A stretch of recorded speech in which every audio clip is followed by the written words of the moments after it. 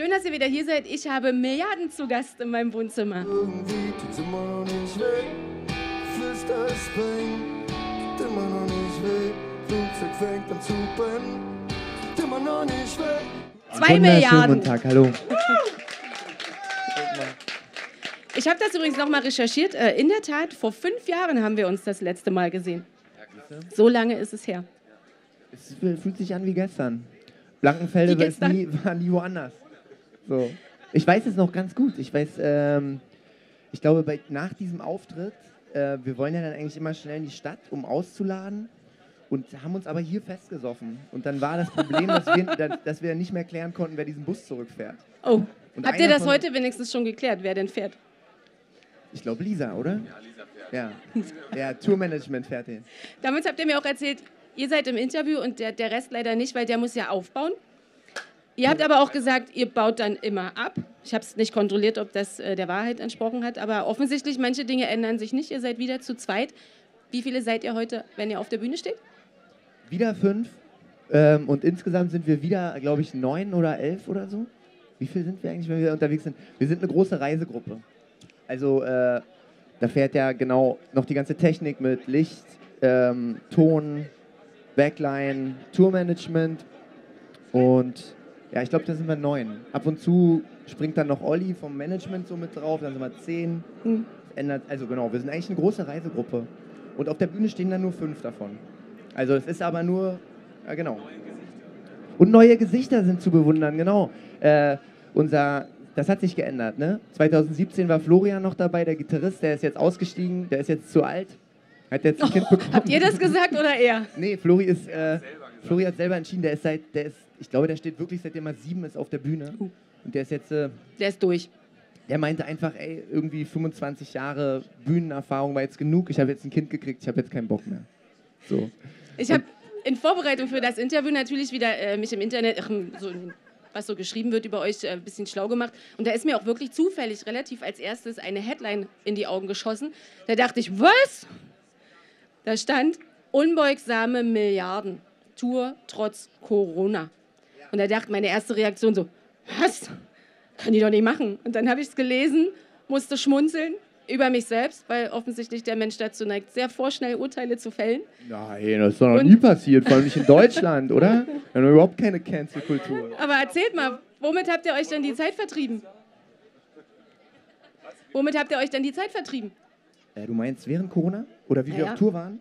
Ja, die Wir haben- Geschichte mit Tour trotz Corona. Ja, na, wir haben uns quasi, wir haben ja auch ein Album rausgebracht während Corona und wir haben uns ähm, überlegt, also wir hatten dann irgendwie so rege Gedanken, dass wir uns über die Position von Künstlern innerhalb von einer Gesellschaft Gedanken gemacht haben und über unsere doch relativ privilegierte Position und was darin unsere Aufgabe ist. Und darin haben wir uns auch entschieden, dieses Album zu veröffentlichen. Auch dadurch, dass, also wir konnten es ja nicht touren und wir verdienen ja nur Geld, wenn wir eigentlich unterwegs sind und live spielen und Leute zu unseren Konzerten kommen. Das ist, wie wir oder als Gruppe auch unsere Miete bezahlen und Essen auf den Tisch kriegen. Und das konnten wir nicht machen. Und dann haben uns alle abgeraten, bringt das Album nicht raus, macht's nicht so, äh, denkt darüber nach. Dann müsst ihr wieder neues schreiben, und, also, um wieder Geld zu verdienen. Und haben wir da ein bisschen drüber nachgedacht und dann uns dafür entschieden, dass wir es gerade deswegen rausbringen, weil genau in dieser Isolations, in diesem Isolationsmoment ähm, ja die, der Dialogabriss, also der Dialog zwischen Künstler, also sowieso unser innergesellschaftlicher Dialog ja total abriss, weil alle zu Hause isoliert waren und weg waren. Da war die einzige Möglichkeit, eigentlich in die Kultur reinzulauschen und sich auf äh, Spotify oder anderen ähm, Formaten und Medien einfach die Künstler anzuhören. Da dachten wir, es ist eigentlich genau richtig, den Dialog offen zu halten und den Leuten jetzt mitzuteilen, was wir da zu sagen hatten an dem Moment. Und äh, finde auch, dass es ein super Album geworden ist, um ehrlich zu sein. Und es passte auch, finde ich, genau da rein in diese Lücke. Ich bin super stolz, oder wir beide sind super stolz. Und ähm, dann haben wir so gedacht, na gut, jetzt haben wir das rausgebracht und sind auch nebenbei noch auf Chartplatz ähm, 7 eingestiegen in den Albumcharts. Genau. Das, äh, man- Gratulation. das, ähm, das erwähne ich nur, weil das total besonders ist, weil wir, das ist das erste Album, was wir auf unserem eigenen Label gemacht haben, also nicht auf einem Major-Label. Also, das bedeutet, Major-Label arbeiten sowieso beschissener als so kleine Indie-Labels. Das haben wir daraus gelernt. Und ähm, dann haben wir uns überlegt, wie tun wir denn jetzt? Und äh, diese Corona-Situation hat uns in diese Gedankenschleife rein befördert, äh, was ist denn eigentlich das Sinnbild dafür, dass wir jetzt quasi uns alle voneinander isolieren? Mhm. Und irgendwie, ich weiß nicht, wodurch beschlich uns irgendwann dieses Bild.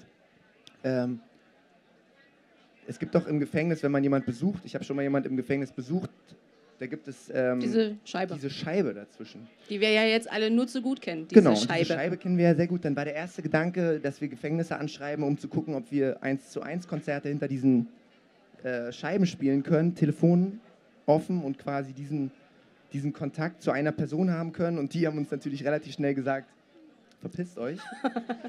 Was wollt ihr hier? Ihr überlebt hier keine fünf Minuten. Und ähm, dann sind wir auf die Idee gekommen, also oder sagen wir mal so, ein Kumpel von uns, Chrissy, lieber Chrissy, falls du uns gerade hörst, wir küssen dich auf, dein, auf deine Stirn, denn der leiht uns einfach, seitdem es uns gibt, immer zu einem super Preis seine Vans aus. So diese Prom-Ride-Dinger, die ihr immer rumfahren seht. Und ähm, Chrissy hat uns einfach für drei Monate sein Auto ausgeliehen. Also eins seiner Autos. So, und das haben wir zu einem kleinen Club umgebaut, um genau diese 1 zu 1 Situation also wir haben quasi da rein einen Club gebaut mit einer Plexiglasscheibe, einer Bühne und einem Zuschauerraum. Und jeder Menge Rosen und rotem Licht. Wobei, das Licht konnten wir auch selber steuern, welche Farbe das hat und so. Und, da Und haben dann wir kam aber immer nur einer rein, weil war ja Corona. Ja, wir sind dann äh, bei minus 20 Grad sind wir losgefahren und haben äh, zwei Wochen lang Konzerte in der ganzen Republik gespielt, immer für eine Person. Also in den Städten hatten wir dann quasi, hat uns unsere liebe Lisa, steht die ja auch irgendwo? Ja, da ist sie doch. Lieschen hat das alles so ein bisschen koordiniert und hat die Leute, die sich, also die quasi zu diesen Konzerten kommen wollten, Aber wie habt ihr die, also habt ihr da Gewinnspiele Internet. gemacht oder Übers Internet. verlost? Wie haben wir es gemacht, Lisi? Übers Internet einfach. Instagram nennt sich die äh, Plattform. Instagram. Also sozusagen, da schreibt man dann rein, ey, wer hat eine Lust auf ein Konzert? Und dann können Leute drunter schreiben. Und dann wurden die ausgelost und die konnten dann ähm, pro Stadt haben wir, glaube ich, weiß ich nicht. Nee, nee, nee. Es waren schon, also wir sind, also in Berlin haben wir richtig viele Leute gespielt, in Köln haben wir richtig viele Leute. Wir standen dann einfach so einen Tag an irgendeiner Ecke und das war wie so eine Art, ja, so, es wirkte auch so wie so ein kleines rollendes Bordell. Du hast immer so rotes Licht innen drin. Wir hatten auch noch, Ja, da nickt jemand. Ja, du warst drin. Der. ja, hatten auch eine kleine Nebelmaschine zu Anfang noch. So, das haben wir dann irgendwann weggelassen, weil es unsere Lungen zerstört hat. Und immer, wenn das Auto aufging, kam da so Rauch und rotes Licht raus und die Polizei wurde aufmerksam, das Ordnungsamt die wurden mal weggeschickt. Und so haben wir dann äh, diese, diese Platte bespielt. Also immer quasi eins zu eins Konzert. Und die ging so eine halbe Stunde. Ich habe 20 mich Minuten bis halbe gefragt, weil da dreht sich ja die Aufmerksamkeit so ein bisschen um. Normalerweise steht die große Crowd vor der, vor der Bühne und alle starren so in die eine Richtung. Und in dem Moment ist ja das Verhältnis irgendwie andersrum. Da sind so zwei, drei, vier Musiker, die spielen und dann sitzt da nur einer. Und dann sind irgendwie ja auch alle Augen auf den gerichtet. Wie war denn da das Feedback von den Leuten, die das mitmachen durften? Musst du sagen. Hier, ich gebe dir mal das Mikrofon. Nee, nicht, nee, nee, nee, nee, nee, nee, Beschallung. Oh, es geht nicht. Ach so, Entschuldigung. Ich weiß nicht, wie es für die Leute war. Also ich kann es dir nur aus unserer. Oder willst du es beschreiben? Ähm, Andreas war auch da. Wer war denn alles von euch in diesem kleinen Bus? Zwei? Okay. Ach doch, das eine hat ja ganze Wellen Menge. geschlagen. Äh, es war geil. Es war eine neue Erfahrung, auf jeden Fall. Das ist Äh, eine ziemlich schräge Idee. Ähm, also ich glaube, einer Person gegenüber zu sitzen und nicht Ja. diese Masse von Menschen äh, vor sich zu haben, die auch eine Eigendynamik entwickelt und äh, ja, eine Energie und eine Kraft, äh, war sehr persönlich und dadurch sehr, sehr schön, weil man sich auch sehr viel Zeit genommen hat, erstmal mit äh, den Personen zu sprechen, die einem da gegenüber sitzen, auch deren Geschichte zu hören, sonst erzählt man ja immer nur seine Mhm. Geschichte oder wie es einem selber geht und man kriegt nicht so viel mit. Und dadurch war es ein sehr intimes, äh, ein sehr intimer Dreier. So würde ich das beschreiben, ja. Es war ja auf jeden Fall, ähm, hat es ja offensichtlich auch so gut funktioniert, dass ihr die Idee sozusagen äh, gefranchised habt und auch anderen Bands dazu verholfen habt, kleine Konzerte mit Einzelbesetzung zu machen. Korrekt, korrekt. Unter Zum Beispiel zwei davon, die hier sind, äh, oder hier waren, Mia und auch Mia, hier sind, die waren Mine. gestern hier, ne? Ja. Ja, korrekt, genau. Das war, Sind die auf äh, euch zugekommen und haben gedacht, boah, super Idee, ich will das auch mal mitmachen? Oder habt ihr gesucht, Ich wer da glaube, mitmachen möchte? wir haben äh, das, in, also sagen wir mal so, das, ähm, ich glaube, nicht viele Leute haben sich dafür interessiert, bis auf einmal, äh, also außer natürlich die, also unsere Leute, die zu den Konzerten kommen wollten, aber medial hat das auf einmal äh, eine Welle geschlagen, dass ähm, Jimmy Fallon und wie heißt der andere Typ? Äh, Corden? Aus Amerika. James Corden, die Leute, die da diese Late-Night-Shows haben, haben uns Mhm. auf einmal in ihrer Late-Night-Show verarscht. Weil die Amerikaner nicht verstanden Gelobt haben. bestimmt, nicht naja, verarscht. nee, naja, das ist ja so, also da wird ja gelacht, aber das war ein lustiger kultureller Unterschied, weil die überhaupt nicht verstanden haben, wie man halt als Europäer für eine Person ein Konzert spielen kann, weil es überhaupt nicht rentabel ist. Also die haben, die, die haben sich darüber lustig gemacht, das fanden wir natürlich auch lustig. Ähm, und auf einmal gab es eine riese, riesige mediale Welle. Also wir haben dann halt irgendwie Interviews im schottischen Fernsehen gehabt, Interviews in Frankreich gemacht, nach, äh, ich glaube, Vietnam, Australien. Also es gab immer, Wow. es gab so Interviewwellen auf einmal. Also da stand ich dann immer irgendwo in meinem Bad oder in meinem Zimmerchen und habe da so mit Leuten rund um die Welt, ges, äh, wie sagt man, ges- gezoomt oder so sowas ähnliches. Ne? Also wir haben uns auf dem Bildschirm gesehen. Und ich war dann, oder wir waren dann live in den Sendungen halt drin, in irgendwelchen Morning-Shows in äh, Scotland oder so. Wahnsinn. Ja, total. Und ähm, das war irgendwie interessant. Aber auch irgendwie völlig äh, Wumpe. Also, um ganz ehrlich zu sein, das Tolle an diesem Bus war, zu merken, dass dieses Ritual, also die Leute, die kommen, dass das Ritual so intensiv ist und der Gesellschaft, glaube ich, so wahnsinnig fehlt, wenn es nicht da ist. Mhm. Da hat man so doll gemerkt, warum man diesen, diesen Sport macht. Warum man das braucht. Also, weil Ja. wir machen ja eigentlich, der Sport, den wir machen, ist eigentlich Autobahn, also Autofahren. Wir sind ziemlich professionelle Autofahrer. So, wir fahren relativ viel Autobahn, um dann ganz wenig Konzert zu spielen. So. Und äh, schlafen wenig, um das zu machen und so. Haben gestern Abend 1.30 Uhr auf dem Deichbrand gespielt, waren dann äh, 4.30 Uhr am Hotel. Um 5 im Bett und um 7.20 Uhr hat irgendjemand angefangen zu bohren im Hotel. Oh. Und so ungefähr haben wir uns dann so ähm, gegen 11.30 Uhr wieder getroffen, um hierher zu fahren. Also so muss man sich das ganze Tourleben vorstellen. Und das ist immer wieder natürlich dieses Sie macht Ritual. jetzt nicht wert. gerade so, ihr rührt nicht gerade so die Werbetrommel für Nein, eure du, Branche.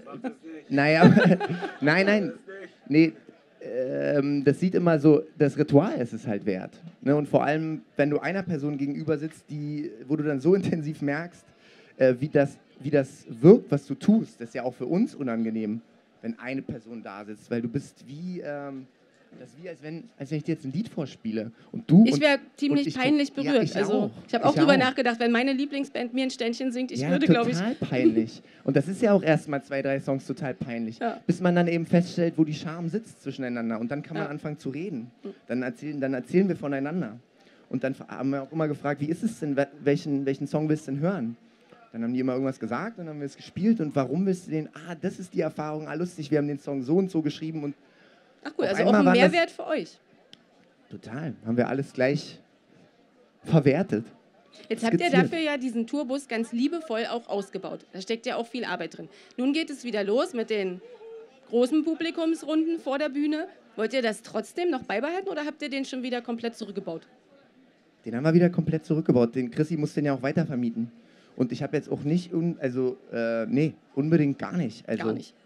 Nee, das ist ja eine, das ist, das entsprang ja der Notsituation. Und das meinte ich vorhin. Ich glaube, wir müssen als äh, sogenannte Kreative in so einer Gesellschaft eben auf Notsituationen reagieren können. So, und Mhm. damit umgehen können. Und ich, also, ich habe jetzt keinen Bock, das als Format so weiterzufahren. So, ich Nee. habe Lust, auf so einer Bühne zu spielen. Eben, ihr habt Bock auf von die Bühne.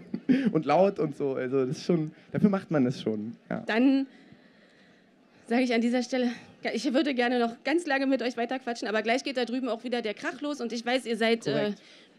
Auch müde. Wir wollten ja eigentlich nur fünf Minuten machen.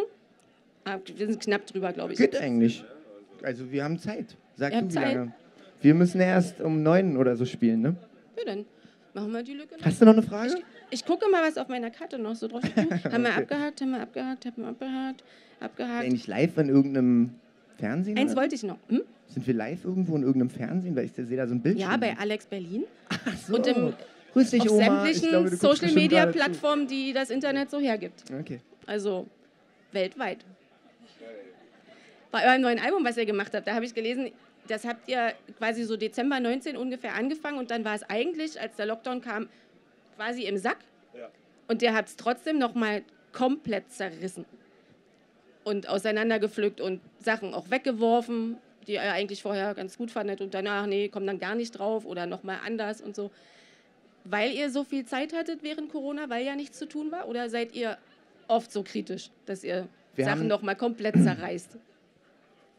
wir, das war eine andere Machart von dem Album. Also zu diesem Album, wir haben uns quasi ähm, vor diesem Album von unserem Label getrennt, von unserem Management getrennt, haben unser eigenes Label gemacht und sind jetzt sehr selbstverwaltet und haben äh, und ich glaube, dieser ganze, ähm, dieser Autonomisierungsprozess, diese ganzen Strukturen zu durchleuchten, in denen man in diesem Business auch äh, stattfindet, das hat auch sehr viel in dieses Album reingefärbt. Also wir haben da sehr, also wie wir vorher Musik hergestellt haben, war, dass wir sowieso, wir schreiben das entweder am Klavier oder an der Gitarre und dann singen wir dazu und dann kommen Wörter dazu und Welten dazu und dann übertragen wir das in so eine Band.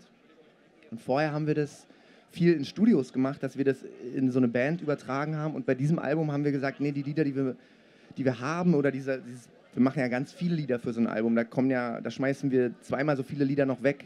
Also da gibt es noch viel mehr Lieder als auf diesem Aber Album. fliegen drauf die sind. komplett so richtig in die Mülltonne oder habt ihr da so eine, ich sag mal, Resteschublade, wo man Man hat eine Sachen Resteschublade, sammelt, die aber man vielleicht später nochmal. Die? Reste-Schublade wird nie wieder angerührt, ja. Äh, genau. Also eigentlich ist es so, wenn du einmal drüber gefahren bist, ist es platt.